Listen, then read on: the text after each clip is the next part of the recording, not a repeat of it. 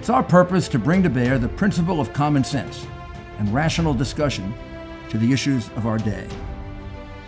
America was created at a time of great turmoil, tremendous disagreements, anger, hatred. There was a book written in 1776 that guided much of the discipline of thinking that brought us to the discovery of our freedoms, of our God given freedoms.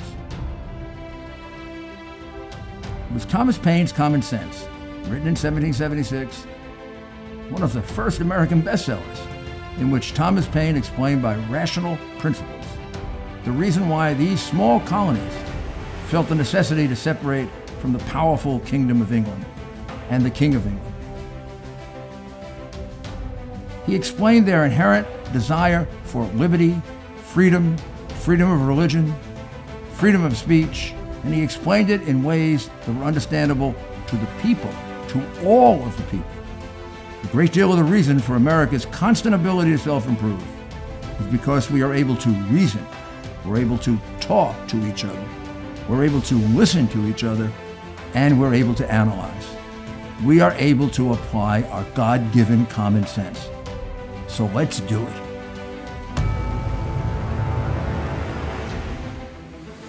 Hello, this is Rudy Giuliani with Rudy Giuliani's Common Sense. Tonight we're at the home of the McCloskeys, Mark and Patty. I think I know, you know who they are. They were confronted several, almost a month ago now, right, with, uh, with the possibility of being uh, murdered, having their house burned down, and being raped, and a horrible situation. I think you saw some of it with their um, holding the pe- people off. And thank God it didn't happen, but it came very, very close.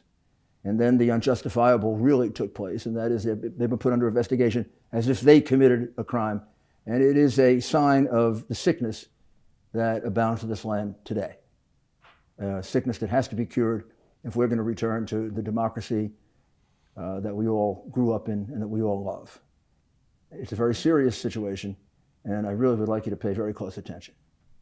So this is uh, Mark, Miss Patty. Please tell us just a little, you both lawyers, and tell us how old you are and just a few little things about yourself. The audience probably knows a lot about you, but just. Well, I'll say how old I am. It's impolite to say anything about a lady. Of course. Um, uh, we're both personal injury lawyers. We've been practicing here in the city of St. Louis um, since 1986. Um, we both went to law school in Dallas at SMU. Uh, we moved up here on uh, April of 86. We've been on our own, working in our own firm together since uh, January of 1994. Uh, and our office is about three blocks away here in the city of St. Louis. And uh, we've lived here in this house since 1988, 32 plus years now. And we've spent 32 years restoring this house. It was a it was a, a problem. It was a derelict house with no heating, no air conditioning, no roof, no. I mean, it was terrible. You know, 48 space heat, heaters in the house, and it took us, and it's still taking us years to to complete.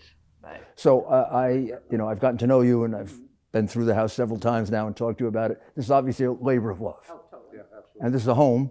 You brought a daughter up here. Yes, You've been married here. Your whole life is centered here, yes. and uh, it's a it's a beautiful, beautiful home. It's, it's, a, it's, It's a warm home, and it's a gorgeous home. And it's something that, that is not just a house and not just a home. It's a it's a historical statement of the genius of humanity. The the, uh, the original builders of this house brought in uh, people like my ancestors and your ancestors and her ancestors from villages in Europe to do the, the woodwork and the carvings and the stone carving, and created a monument to, to human genius. And Yeah, and I, I might add, it's a it's a real testament to Western civilization, absolutely. which is at stake right now, Yeah, absolutely, absolutely. which we're fighting for. Yeah. Couldn't be any any more symbolic. And it's, it's not just, we're just merely temporary custodians Oh, of, of this wonderful? house. And we want, our goal is to preserve this, uh, not just for itself, but as a symbol of the genius of mankind and Western civilization.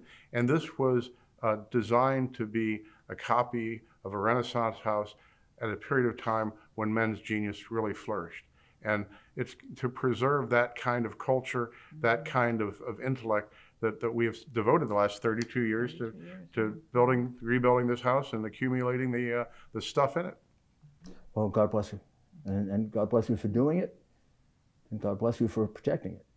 And uh, I can't think of anything uh, more symbolic of the struggle that w- we face right now, which is to preserve our way of life, which is under attack, and under attack by the very people who came here. So let's let's get to that. So we'll start, you know, when it began, and that was on a Sunday evening. And it, and it really began earlier than that Sunday evening. That Sunday evening was June the 28th. Right. Um, but we had gotten a contact from our trustees of our private neighborhood here uh, days earlier that this uh, event was going to happen the Friday before. So we should put this in context of what was going on in St. Louis. Sure. You already had had uh, protests and riots. Well, George, as a result George- of George Floyd's death, or allegedly at the, as a result of George Floyd's death, there were riots in downtown St. Louis on the night of June the 1st and June the 2nd. Uh, the downtown areas were burned. Historic house was set on fire. Four police officers were shot. Captain David Dorn, who was working secondary employment, uh, was murdered. Um, uh, Fires. fires everywhere. every place.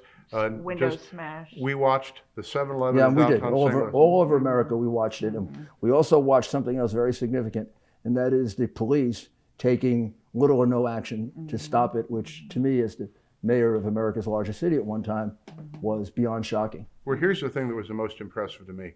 We were watching a live TV feed from the room directly above where we're sitting here, and from a helicopter, and we see the 7-Eleven, which is one of the few, you know, vital businesses in that part of downtown St. Louis, two blocks from the police headquarters.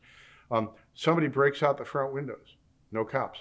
Somebody starts looting, and then the windows come out, and everybody starts looting. They clean the place out. Then somebody starts a fire inside. The fire starts to burn and engulfs the whole building. We're watching this from a live feed for 30 or 40 minutes. And nothing was done about it. Building's completely engulfed in flames and then starts to collapse. No fire truck, no policemen. We were told later that the rioters had surrounded the, the, the street to keep fire trucks and police away. And we're thinking, The fire trucks can't drive through rioters. did, did, did not. Not- and not in my and city. we're, and we're saying, mm-hmm. holy, holy, you know what? Mm-hmm. If this comes to our house, we're all on our own. There's nobody mm-hmm. going to be there to protect you. The cops aren't going to do it. The fire department's not going to do it. The, the, no one's going to protect us but ourselves. And so when we got the heads up from our neighborhood association that they were going to do this protest the Friday before it really happened, we staged fire extinguishers around the house because what they like to do is burn things. And uh, we have some things here we wouldn't like to have burned. Um, and staged guns to protect ourselves because we also wouldn't like to get killed. Um, and then it didn't happen that Friday. But then, But let's, let's just go back from a. Your state of mind at this point is frightened. oh, God, yes. Uh, It's not as if this were in a neutral situation. You have been watching cities in other parts of America burning. You've, you, absolutely. you, you had seen other, you've seen murders taking place. Oh, yeah. Four police officers shot here, one executed, really, Yeah. uh, uh, Captain Dorn. Uh, you saw uh, buildings burned down and places looted, and the police non-existent, almost as if it was uh, uh, permitted by the city, if not invited by the city. And one of the most shocking And you things. knew, and you knew you wouldn't get any help. Absolutely. You and knew one it. of the most You knew it for sure. Absolutely. And one of the most shocking things you see in the videos of, of the riots in, in downtown St. Louis and Minneapolis and everywhere else is that the rioters are taking selfies of themselves. They're not concerned about, about retribution or, or getting arrested or going to prison. They're taking pictures of themselves committing felonies mm. up to the state of murder, as in the case of Captain Dorn, taking selfies of themselves and proud of it. This is this is the state of our of our government where you don't do crime and hope to get away with it. You do crime and advertise it because you know you're not going to have to pay the penalty. And were you aware of the groups that were involved, the, the, the, the several groups that were involved, the Black Lives Matter and the Antifa and, And in St. and their background? yes, and, and we we knew uh, we didn't know as much about it then as we do now, unfortunately. Um, but we knew that Black Lives Matter was a uh, was an avowed race, a Marxist organization, and and um, that uh, the Antifa was was mostly white uh, uh, anarchists and, and revolutionaries. There's an entity in St. Louis though that we didn't know about called Expect Us, and Expect Us is a, uh, a movement headed by, amongst other things, a young lady named Cori Bush and a man named Rashid Aldridge, who's a state representative, and Cori Bush has now just been elected our uh, United States representative for the first district of Missouri. But this organization proclaims publicly that they don't want peaceful protests, that they, they don't like that term. They have no intention of being peaceful. They want to be violent. They want to break laws. Uh, Rashid said the day after our event, first event, um, that yes, they knew they were going to have to break laws, and it's important to break laws in order to send their message. And these are the people that lead the local entity uh, that was confronting us. And the congresswoman is named, Cori Bush. and she was just elected to the United States Congress, I, I assume, to join the illustrious squad. Yeah, Tell exactly. Yeah, no, I, I saw a picture of her on her video jumping up and down because she had just gotten a call from one of the squads saying, "Oh, I'm part of the squad now," jumping up So and ba- down. ba- basically, this group uh, uh, represents some form of violent overthrow. Exactly. Cori Bush, and I'm jumping ahead, but on the second event on uh, July the 3rd, when they came back to burn the house and to kill us, which is what they stated uh, to us, is that they had every intention of coming to this house to burn it and to kill us. Cori Bush was standing outside the wall 70 feet from here with a megaphone repeating, chanting, You can't stop the revolution. The revolution. She wins the, uh, she won the uh, Democrat primary for the first district of Missouri. And that's the same as winning the general election because there aren't any Republican voters in the first district of Missouri. So you're warned that there's going to be a demonstration and um, a dangerous one.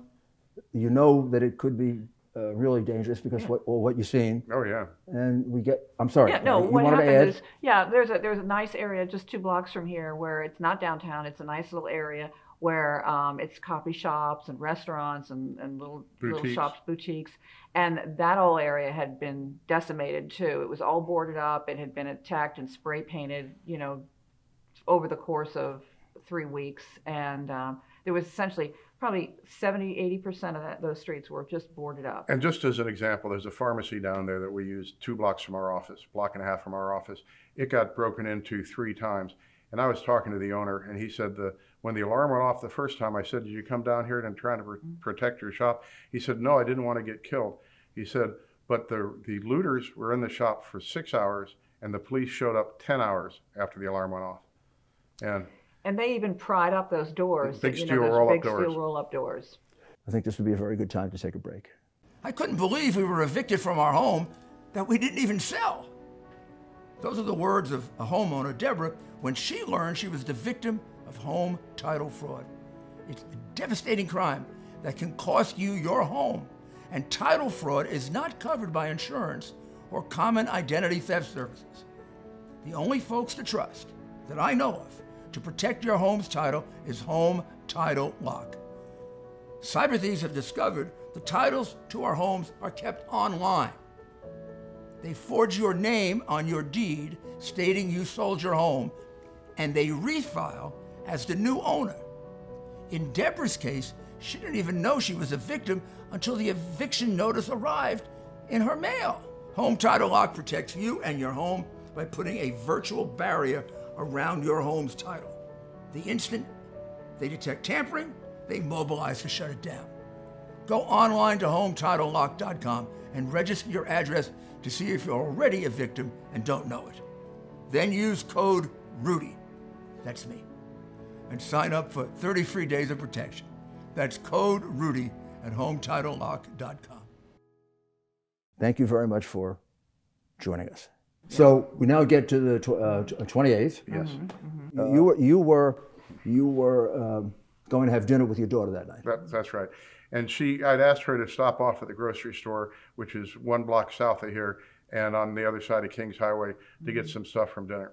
And as she was doing that, I heard the big commotion out on Kings Highway. I heard the, the riot starting.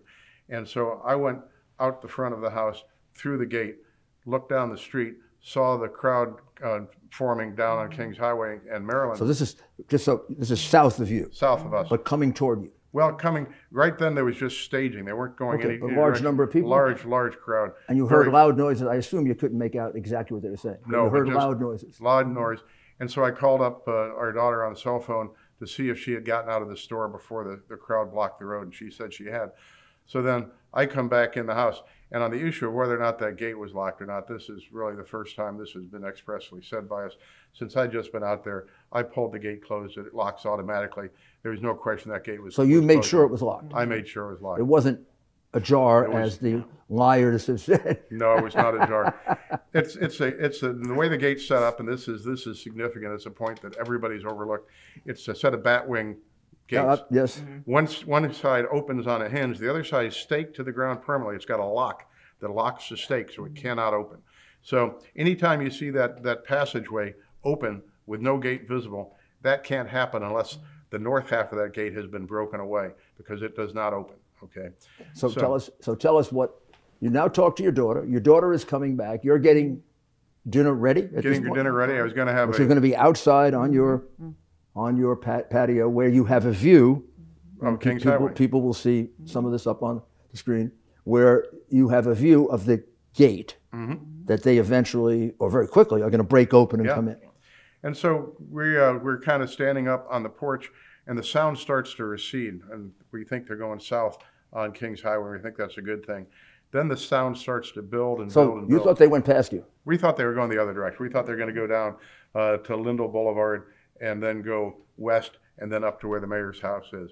Um, but instead, now the sound starts to build louder and louder and louder. We've got screaming and chanting and drum beats. And then we start seeing a trickle of people come past the gate.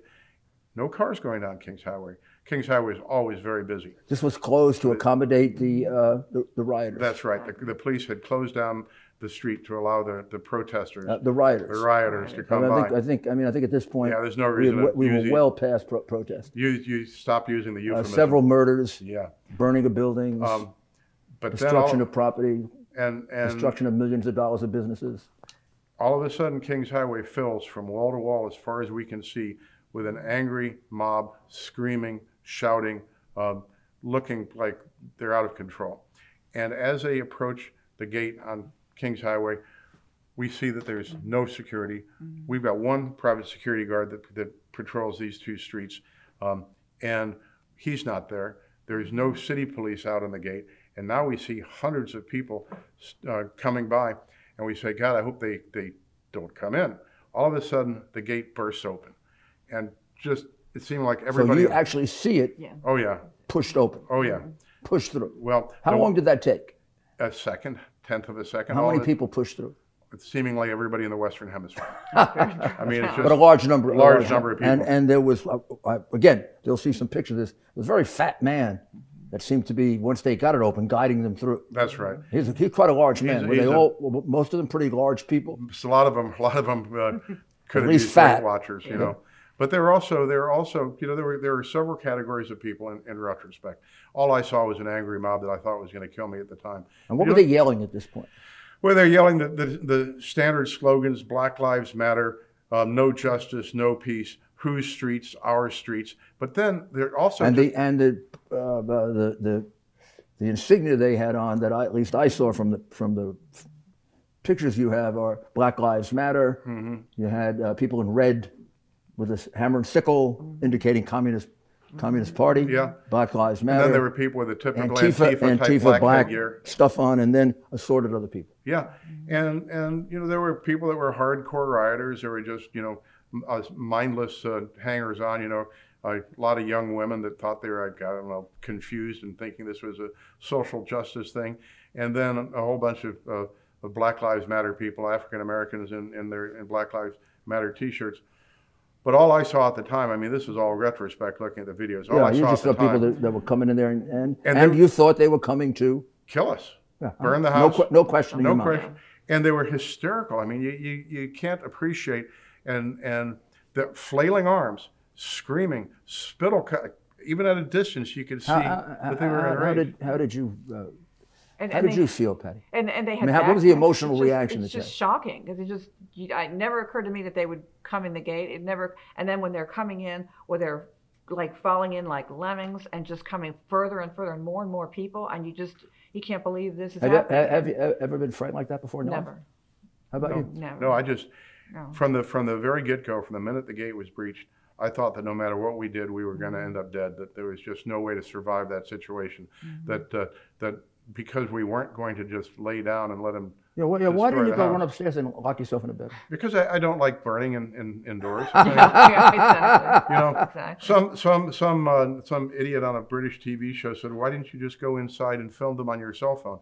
And I said, "Would you rather be have 300 people setting fires inside your house and killing you, or would you like, rather try to keep them on the outside?"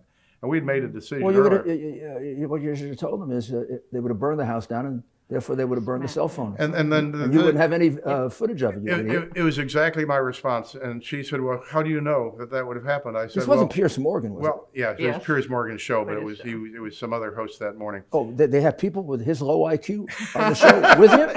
exactly. Oh my goodness. We'll take a short break and we'll be right back with the McCloskeys.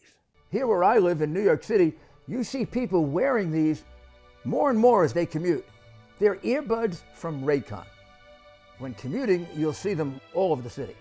But they're great to wear right now from home on video conference calls or when you're exercising or you're watching this video podcast or if you want to listen to music. You just put them in, hit the music, and I'm listening to Bocelli Con te partirò. You can listen to your favorite music.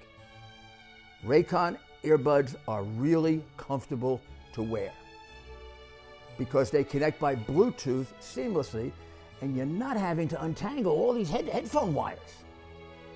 The first time you listen to your favorite music, whether it's opera or something else, you're going to be amazed at how good the sound comes from this little thing. What Raycon has done is truly amazing. You get six hours of playing time between charges. And when you pop them back into the box, it charges efficiently and very, very quickly. And they're not that expensive. You're going to save a lot of money on these. You buy these online by raycon.com slash Rudy. That's raycon.com slash Rudy. Get them now. You're going to really enjoy them. Thank you. Thank you very much for coming back, and we'll continue our interview with the McCloskeys. But I said, you know, if, if we weren't out there, you'd be you'd be attending my wake right now. I wouldn't be uh, I wouldn't be addressing the British so, Empire. So you you at some point now stand up, walk over to sort of the porch there, the little porch, Yeah. where you get a better view of the people coming in, and you say something to them. First thing I said is, this is private property. I probably said You're unarmed at this point. unarmed. I say, get the hell out of my neighborhood. This is private property. The words private property uh, inflamed them, and they they became. That's really amazing. Yeah, yeah. Because I mean, the contention here is that for maybe eight or ten years, this is a planned communist movement. yeah. Uh, eight, uh, uh, Black Lives Matter, the three people are uh, Marxist, following Marxist doctrine. The whole plan, if you understand Marxism, follows the burning of the statues, the changing of history. It's all Marxist doctrine. So they get upset when you say private Yeah. property. And then they start That's the key to socialism. right? No- Absolutely. No, private property. And and that's the basis of whose streets our streets, right? The the streets belong to the the uh, the, the masses and not to, there's no private property. And how dare you tell us where we can and can't be? They weren't that articulate. They just started screaming in greater uh, volume and flailing more. It was it was it was an out of control mob. Could you hear at that point what they were saying, or was it just indistinguishable, yelling and at- screaming and at- flailing? And At that point, my mind is, we're going to die. I've got to do something right. so, what did you do? I had because we had staged the weapons earlier. I had an AR-15 right inside this door. I, I Right, right in back of you right, right now. behind me, about, about five feet over my my left shoulder right now. And I reached inside. I grabbed it. I went out on the wing. Are you familiar with using weapons? Yeah, I, I grew up around guns. I've been Okay, around so guns you know what you're life. doing. Um, Patty, on the other hand, well, we'll get to Patty We in a all- minute. know Now, that. Patty, when he came in and got the rifle, were you still sit- uh, were you still there? Um, no, I think I walked right behind. I ran in to, to call 911. So you you came in, you went all the way across the, the house basically, Uh-huh. and you called 911. And then we'll get back to what you did in a moment. Mm-hmm. So you came out with the rifle, yeah, and I stand out in the and on you the go wing. on that porch again. Yeah, and I'm standing there uh, with my finger outside the trigger guard, safety on the rifle. So you're making hold it clear you have the safety on Yeah. to show them that you're not anxious to uh, uh, to mow them down. Well, I'm not anxious. No, in fact, I was never you, anxious. You just mow want them to go away. You want them to go away. I kind of thought that a rational human being, if they see a man um, who is shouting at them to go back, this is private property, and uh, is holding a, a rifle in his hands, the average human being might back up. But they did not. They kept coming closer. They kept coming more and more of them in. In fact, I saw a video. I wish I, I we probably have saved this somewhere. Some young uh, African American ladies sticking their heads between the bars of the fence, saying, "Oh look, he's got a gun. Let's get in there." Well, if the, kind if of the police if the police aren't going to take action against them when they're beating the hell out of somebody or raping somebody, or why would you? Yeah. They, they had no expectation you were going to use that gun. My my my belief that They, fear they, alone. are, they are they are they are uh, completely confident, yeah. particularly in this uh, democratic city, funded. We'll get into it by George Soros in large uh, amount. That they're in charge. Yeah. And and and my my belief that somehow that uh, fear alone would keep them from killing us when they saw a weapon was immediately Well, they, dispelled. they had, uh, just like you were sure you're going to be killed, they were sure you weren't going to shoot. Absolutely. Well, in any event, you, you, you're there for a bit. Patty now di- dis- disappears. Yeah. Now, Patty, where do, where do you go? I went in the kitchen, called 911, and lady on the other end of the phone said, uh, I said, they're, they're, they broke the gate. They're, they're, hundreds of people are coming through. And they said, well, what are their, um, are they African American? Are they Caucasian? Are they um, uh, Hispanic? And I said, all of them. And then I said, well, that's not fair. There's probably no Hispanics in this crowd. And then she typed some things in. I could see we weren't getting anywhere. So I said, I really have to go because I really have to go. And I maybe I may, they they have told me that I said I maybe I need to go get a gun. They So- told you that. I've I've heard that from no, I've heard that that that's what the recording says. I don't Right. remember saying that. And then I walked by my, I walked to the front where I, there was a big gun there which I knew I couldn't touch. The big gun Uh, was a rifle, A shotgun. a shotgun, yeah, and I knew I couldn't touch pump? that, but I knew Yeah, in pump the gun. drawer. an old fashioned. Uh, yeah. Yeah. Dalton Mossberg uh, 12 gauge. So. How about a frightened boy? Yeah. well. So, but but you shoot did not myself in take the foot. that. No, I didn't. because take you're that. not familiar with them. I, I know nothing about them. And what did you take instead? So there was a. I knew that there was a, a, a, a gun that was used in a case that didn't work, and I could. It's just a little handgun, just a little tiny what, handgun. what kind of gun was it? And it was a Jennings or. What, what, can you describe the gun? Yeah, it was a uh, it's a uh, Bryco, Bryco. Jennings 380 pistol. We'd use it in a lawsuit where But the that- gun go to fully automatic, little tiny, Yeah, compact, big, right? subcompact. Uh-huh. Yeah, Yeah. thing. Okay. But, uh, And, um, still a gun. it's still a gun. Yeah. It was once at any rate, but it was non-functional But, at that but time. and you knew it was non-functional. I knew it was not functional. Um, And, uh, so if you knew it was non-functional, why'd you take it? well, I, I, I thought, well, I saw people coming toward Mark before I even left. I saw them when he said that business about private property, that people were coming up toward the fence to, to toward him. And I thought, he's not going to be able to handle this himself. Okay, I called 911. And, um, and then I went out the front. Well, before I went out the front door, my daughter was standing there in the entry hall, and she said, she actually fell on the ground because she you could look uh, she just like she passed out. And she because you could look out the front gate and see all these these rioters out there. And she said my parents are both going to be killed right now. She said that and to she said that to- out loud. She, and was she said, saying it uh, to you or just saying it? um, Or couldn't you tell? oh my god my parents are going to die right now. Both my parents are going to be killed. And then she um, went upstairs. I didn't know this. I just knew um, and then um, she told me she went upstairs and hid behind a sofa um, and then what? And what did you do? Patty? uh, i went out front with a gun And, and, did, um, and, and you went on. You have a you have a, a large uh, entrance pa- patio. Uh, patios. Mm-hmm. terrace yeah In Brooklyn, we would call it a stoop. oh, okay Yeah, the stoop, terrace The yeah. terrace. yeah So you, you stood there for a, a bit with the gun, yeah but then you went over to the grass at some point. Uh, yeah there Do you was remember exactly the timing, or is it just kind of? I, I don't know the exact Did you remember what you said or what they said? well they're screaming at me about like, we're gonna um, and I know the language here is very difficult, but I, I think we need to Bitch. hear it to understand the state of fear that you're in. kill you. We're gonna rape you. You. We're Talking about you. You. Yes, me. And we're gonna take that gun and shove it up your cunt.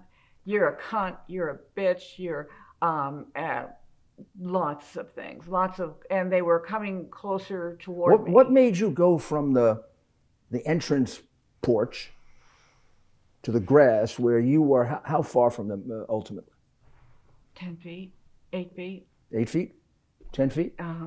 Would you say about I and that? they would they would yeah. keep coming toward you and then Let's i did of- and they were coming toward at such a rate that that i was moving the gun Like like, about this saying You everybody think football like about back. three yards, yeah, three yards, four yards, five yards. it's it's uh, it, I, it's probably so you're a football fan, right? no. I'm not a football. Oh, you're not. fan, Well, no. I, I think football when I do distance. Yeah. it's About thr about th- uh, Um, a it's human body, a, a a human body. It, it's it's I think it's probably 28 feet or something from our from our low wall here to the sidewalk, and she was more than halfway to the sidewalk from the wall. so twelve feet. Yeah, something like that. And they were they were coming towards her. When I first saw her out there in 12 front of me, Twelve feet. yeah, And you had a gun that doesn't work. yeah, no but i thought that they thought that it would Yeah. But they were yelling at you. It did. It, it- they, they still kept coming, but I thought Did I they was yell at you? kinda They, keeping that they, it were, they, they said they're going to rape you. yeah, Did they say they're going to kill you? kill you, kill. They said, they- what else? They take over your house? They did. They, I think that it took. By the time you came out to the porch, they said that we're gonna we're gonna take the house, um, and I'm gonna be sleeping in that room. You have to understand. There's a lot of screaming and yelling. So Right. you know, you right. might. I know. We, we're we're going to listen so- to some of the tape, Yeah. and you can make out some of the some of Uh-huh. those words you can hear. You can't hear them in complete context, but Or- your recollection is basically they were threatening to kill you, rape you, take your house, and We're, we're your taking- dog.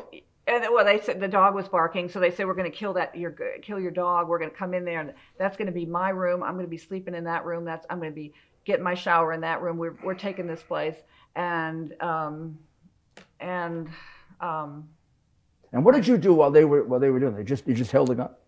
I held a gun. I also you- took my you- keys out with me to the car because I pulled the. Oh, of uh, course, I yes. pulled- What- what did you the do with the keys? behind me so that it was locked, um, and I and I hit the, the the alarm bell. I kept hitting the alarm on the on the truck, the SUV, so that it was loud. I thought it was going to get some attention, and somebody else. You thought you might get some out. help, It's yeah like- like from somebody else or the police. somebody, anybody, so a good neighbor, a security guard, anybody.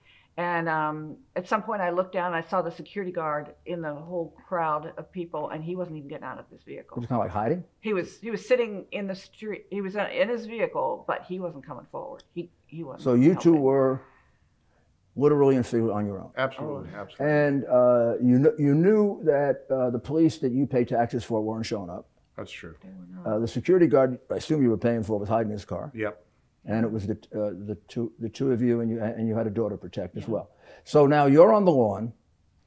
You don't realize at first that she's outside. No, I had no idea. And w- what happens? You see her on the lawn. All of a sudden, she appears in front of me, um, and she keeps. You see your wife Yeah. closer to them than you Yeah, absolutely. And I've got a wall between me and a hedge, so I can't get there in a hurry. And I also don't have a clean line of fire because if somebody, she's got people all around her now. And so if a shot goes off, I can't do anything because she's between me and the crowd. So what? What? So you uh, explain your reaction to, to seeing her there. Well, I thought I thought that she had placed herself in a very dangerous situation. I had to she do did. something about it right away. And I don't Well, even. she did place herself in a very dangerous situation. And so I came through the house and out on the front Immediately? porch as fast as I could. Were you very worried? I was I was terrified. I I, I was if I I, mean, I, know it's hard to recreate these things. I've been in situations that are heavy emergencies, and you know I get half the facts wrong. But do, do the best you can. I I was probably doubtful that she would still be standing up by the time I got through the house Oh, my the God. front porch. And But you I- wonder what's my wife doing there? Yeah, yeah. And first of all, I know that the gun she's got doesn't work because you know. Oh my God! I also know that in the real world that uh, if she'd had a functioning gun and it just had a safety on, she wouldn't know how to turn it off because she didn't know anything about guns. Um, and So she was really virtually defenseless, except for her bravado. Yeah, that's it. She she believed that by having something that looked like a functioning firearm in her hand, that would have enough deterrence Well, to keep the crowd away. Maybe, maybe it actually did. Way. Probably May- did. Maybe Probably it did. did. You never know. But you can't, you can't figure these things out at the time. No. So you are extremely upset, Yeah, very worried, yeah, convinced that she's going to die, you're going to die, your house is gone, and who knows what's going to happen to your daughter. yeah, absolutely. So you run out I run outside with the gun. with a gun, and I, and now we're standing side by side in the front porch. And I, I as we sit here today, Well, it gets a little bit. uh, We've gone through this. It's very, it's very difficult for you to remember how you actually came back together Yeah, again. I- because when you come out, you're on the, I'm you're on- on the porch. She's on the grass, Mm-hmm. 12, 15 feet away from these animals, right? Yeah. Yelling and screaming at you. yeah, Yeah. You hear what they're yelling at that point. oh now? yeah, oh yeah. Had you heard what she was hearing? I had I could not hear it from up on the porch. But when you got down there, you Oh, could yeah. hear, "We're going to rape you. We're going to kill you. what We're did going you? to burn the you house. I, I but by the time I got out on the porch, um, I do distinctly remember the guy saying, "We're going to kill you, and after this is over, that's going to be my bedroom. That's where I'm going to take my shower. That's where I'm going to have my dinner." I remember them saying they're going to kill the dog. You- I remember. this- I mean, do you do you know that uh, one of the one of the tenets, uh, one of the principles of Black Lives Matter in their manifesto is that they have a right to claim uh, your property. oh yeah, So this may, may very well have been an exercise of one of their uh, guiding principles. I think that probably goes back to a guy named Karl Marx. Oh, it does, yeah, Yeah. yeah. But it's right there in writing. Uh, a lot of our political figures and people who give them money don't bother to read that. But I mean, the, the whole concept of whose streets, our streets, right? I mean, that's, yeah, and, and that's this, your and this is my, I can take this house. yeah, mm-hmm. basic tenet. But of course, kill you we weren't philosophizing at that point. No, no, you were, you were fighting for we, your life. we weren't engaging in, in historical, I got it. you know, referencing. We were just trying to. I don't But know. some- what, I don't know what she was thinking, but I had no expectation that we would survive that day. We would put up a battle and and die in flames. That was what I anticipated when I hit the front porch.